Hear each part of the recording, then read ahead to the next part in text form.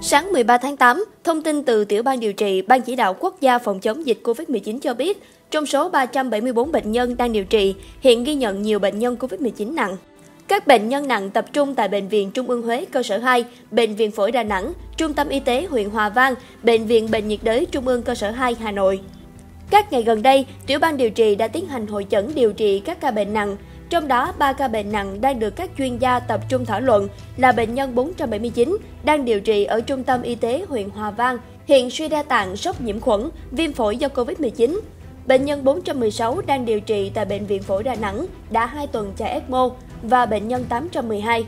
Riêng bệnh nhân 812 là ca bệnh tại Hà Nội có diễn biến nặng. Bệnh nhân 812 là bệnh nhân nam, 63 tuổi, trú tại phường Phú Diễn, quận Bắc Từ Liêm, Hà Nội, là người giao hàng của cửa hàng pizza trên phố Trần Thái Tông, quận Cầu Giấy, Hà Nội. Bệnh nhân này là người tiếp xúc gần với bệnh nhân 447, đi từ Đà Nẵng, xét nghiệm tới 3 lần mới phát hiện dương tính. Bệnh nhân 812 được đưa vào Bệnh viện Bệnh nhiệt đới Trung ương cơ sở 2 với diễn biến tăng nặng nhanh, phải thở máy không xâm nhập.